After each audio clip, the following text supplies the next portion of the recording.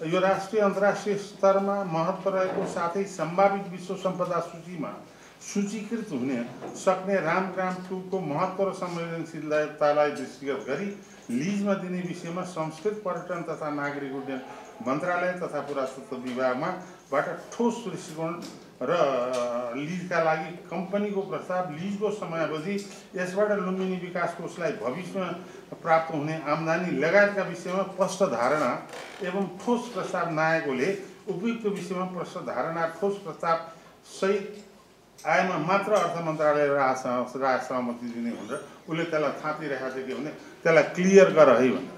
अब यो सबै चिजहरू यसमा पुरा सही छैन। एउटा एकातिर पुरातत्वको आफ्नो अब्जेक्सन छ कि म हुनुपर्छ पुरातत्व भनेर।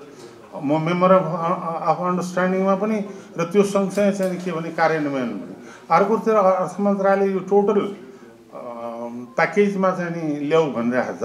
तर हामीले अन्डरस्ट्यान्ड गरिसक्यौँ। अन्डरस्ट्यान्डिङ अफ मेमोरेन्डम अफ अन्डरस्ट्यान्डिङमा सही गरिसक्यौँ। र त्यो सही गर्दा नि मैले मैले देख्दाखेरि चाहिँ के छ भने यो फर्स्ट साइडमा नै विदाउट कम्पिटिसन भएको हुनाले यो असान्दर्भिक छ किनभने यो त कम्पिटिसन गरेर देऊ त्यो त्यो त्यो यत्रो गुरु योजना विराट योजनालाई संलग्न गर्ने र त्यसलाई चाहिँ नि अन्तर्राष्ट्रिय स्तरबाट त्यसलाई विकसित गरेर लाने कुरा मान्य सदस्यहरू समिति कसैको पनि डिफर छैन। तर प्रक्रियाका रूपले यसलाई यसमा गम्भीर त्रुटि छ।